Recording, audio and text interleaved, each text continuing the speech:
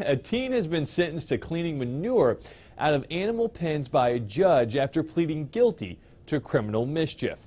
Painesville, Ohio authorities say 18-year-old Bayley Toth and his friends spent a night knocking over things at a park, including a porta potty.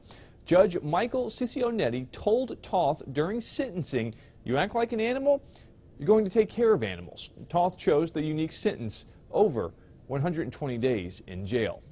Matt Yurus for KDKA News.